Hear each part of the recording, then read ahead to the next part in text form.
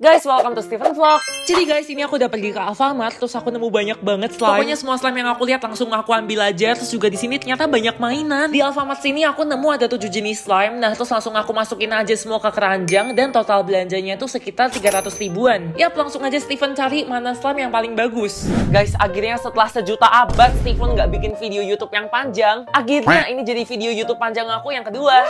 Nah, di sini aku udah punya beberapa slime yang aku beli dari Alfamart, Indomaret, Alfamidi, pokoknya semua gue puterin. Dan aku udah nemu 7 jenis slime di sini. Ini bentuknya lucu-lucu banget, tapi guys, aku tuh agak ngeh sesuatu sih. Ternyata harga-harga slime yang dijual di minimarket tuh nggak semurah itu loh. Jadi harusnya sih kualitasnya juga oke. Tapi tenang, kita bakal review semua slime ini kira-kira mana yang layak untuk menjadi slime minimarket paling gong. Langsung kita review guys. Pertama, ini ada namanya slime time gitu. Langsung kita buka. Dia tuh kayaknya kayak jiggly slime gitu deh. Beneran guys, dia jiggly slime tuh. tuh. Dia beneran jiggly slime. Eh ini oke sih, ini oke, ini oke. Ini oke kok, dia nggak basah sama sekali. Terus tuh kayak ya enak aja gitu kalau buat main-main doang. Wanginya juga nggak aneh kok, wanginya kayak ya udah nggak ada wanginya aja gitu. Kalau yang ini bakal aku taruh di top 2 aku. Oke nih, top 2 aku taruh tengah. Next ini ada kayak pup slime gitu. Dia tuh kayak apa ya? Kayak kloset. Wih. Oh, oh, oh, oh, oh, oh, oh. Klosetnya agak heboh ya. Ada tulisannya pup mata. Nyet. Eh enak loh teksturnya. Nah kalau yang ini dia tuh clear slime tapi memang jujur agak keras. Tapi masih bisa dimainin. Jadi nggak yang keras banget gitu loh. Emang agak keras sih. Kayak kerasnya tuh skala 1 per 7 lah. Tapi kalau dari segi packaging, stiker, segala macam ini oke okay sih. Tapi aku bakal taruh dia di top 2. Ketiga, menurutku ini harusnya bagus sih. Soalnya pas aku beli itu dia kayak tinggal satu gitu woy. Jangan bilang ini lengket please, jangan lengket. Gue benci banget sama lengket jujur. Lu mending kekerasan daripada kelembekan. Oh enggak, ini pas. Finally ada slime yang oke. Okay. Wow, eh dia warnanya cakep loh. Ini semua gue nggak bohong, warnanya cakep. Dia tuh teksturnya kayak yang tipe enak buat dimainin, tapi memang yang patah-patah gitu. Ini enak, ini slime yang oke. Okay. Akhirnya ada yang ada wanginya dikit gitu, meskipun dikit tapi ada wanginya daripada nggak sama sekali. Agak patah-patah dikit, and that's okay. Aku bakal tetap taruh dia di nomor 2. Untung aja belum ada yang nomor 3. Ini kalau misalnya ada lomba slime terus aku jurinya kayaknya aku bakal tipe yang judgmental gitu. Soalnya guys, aku tuh udah bikin slime dari lama banget kan, kayak udah 8 tahun lebih. Jadi aku udah nyobain slime yang dari Indo, Jepang, bahkan yang US segala macam. Apalagi yang kayak all shop all shop besar di Indo gitu tuh dulu aku pasti cobain semuanya. Jadi kalau aku review pasti aku jujur sejujur-jujurnya. Keempat, ini ada slime clear lagi dan dia tuh atasnya kayak ada bebeknya. Jadi warna dia cakep banget warnanya. Nah, ini wanginya enak. Aku suka banget wanginya. Nyit. Oh, teksturnya sama kayak yang sebelumnya. Kalau dari bentuk, warna, glitter segala macam aku suka banget. Tapi dia emang tipe yang kayak ya udah slime yang nggak bisa ditarik-tarik. Tapi kalau buat mainan kayak ceplok-ceplok gini doang. Dan lagi-lagi dia nggak lengket sama sekali. Jadi ya masih oke okay lah. Masuk top tuh. Kayaknya semua masuk top tuh deh. Guys, aku nggak pengen pelit rating, tapi supaya kalian tuh bisa tahu mana yang bagus, mana yang enggak, dan mana yang cocok buat kalian beli. Next, ini ada slime unicorn. Dia lucu banget sih guys, packagingnya. Terus kayak, oh my god, lihat ini dia tuh kayak ada apa sih ornamen glitter glitternya gitu. Kalau mau bisa dibuka tapi yang di sini aku fokusin adalah tekstur slime-nya. Jadi nggak akan aku buka dulu. Buka yang mana buka yang mana? Oke buka yang biru. Oke yang biru. Nih yang biru. Bukanya harusnya ada di bawah. Ini video tidak disponsori siapa pun ya. Jadi ini Hanes review. Aduh kaki gua kram ini harus digunting ternyata. Tapi packagingnya gemes banget desainnya aku suka kayak nggak norak gitu terus kayak masih lucu cocok banget sih buat yang kayak anak-anak kecil gitu. Tolong ya ini bukanya udah perjuangan banget. Please semoga teksturnya enak. Eh ini teksturnya beda dari yang lain. Serius. Serius ini beda. Tapi tunggu kita keluarin dulu. Wow gue bener-bener tidak menyangka dia bakal sesoft itu.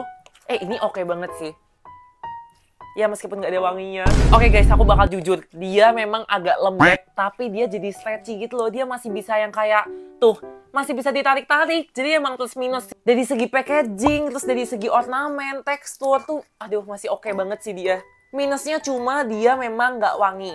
Ada kandidat pertama, ini slime unicorn bakal aku masukin di top 1. Nah, ini juga ada flamingo slime, dia lucu banget sih, kayak ada, apa sih ini kayak ada charmnya gitu. Langsung kita buka guys, semoga dia masuk ke top 1. Soalnya gemes sih ini packagingnya. Ini gede sih slime-nya, worth it harusnya kalau misal teksturnya enak.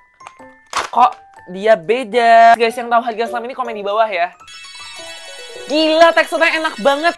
Hmm, baunya nggak enak. Tapi dari semuanya dia tuh stretchy-nya paling stretchy mampus, terus kayak softnya paling soft banget, tapi juga nggak yang lembek. Tapi minusnya selain wanginya, kayaknya dia ini memang kurang cocok kalau buat orang yang jarang main slime. Karena dia kayak masih ada tekstur lemnya dikit gitu loh, tapi aku suka yang kayak gini. Nah mungkin kalau yang baru pertama main nih bakal nempel-nempel gini, tapi kalau aku yang udah sering main kayak gini aja nih guys. Nah tuh, udah hasil kan? Ini bisa banget buat digini-giniin tuh itu masih ada kayak lem-lemnya gitu. Jadi enak buat aku, tapi kayaknya belum tentu enak buat kalian. Maaf lah Minggu, tadinya aku mau taruh kamu di nomor satu. Tapi kenapa harus lengket? Nanti subscriber gue nggak bisa main. Ya udah top 2 aja kali ya. Nah, terus ini juga ada kayak slime gitu, tapi setahu aku ini kayaknya harus kita bikin dulu. Terusnya gampang sih bikinnya, karena udah ada cara-caranya segala macam dan ada ornamennya juga. Gemes pol ornamennya.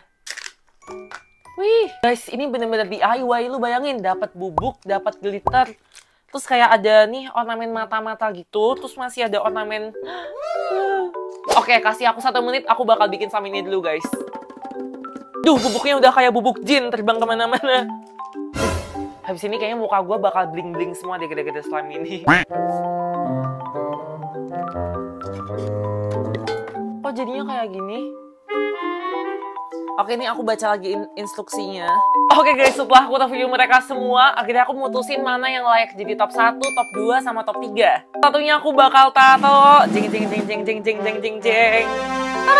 Slime unicorn ini. Gimana dari segi tekstur, wangi, segala macam oke. Okay. Nih guys, slime unicorn ini udah Stephen approve ya sebagai slime minimarket yang layak untuk dibeli. Tunggu guys, tapi ada yang berubah. Aku bakal tambahin top satunya satu lagi. Oke okay guys, dengan kekuatan ninja aku dan nentuin mana yang bisa jadi top satu. Tuh, dua, tiga. Tada! Slime bebek ini masuk ke top satu. Soalnya wanginya enak banget, tekstur segala macam oke okay banget. Dan ya harganya juga masih oke. Okay. Jadi ya silakan masuk ke nomor satu. Sekarang buat taruh top 2-nya ini lumayan gampang. Oke, satu, dua, tiga. Nih, ini juga ini oke okay sih sebenarnya cuma ya begitulah. Ini juga oke okay, tapi begitulah.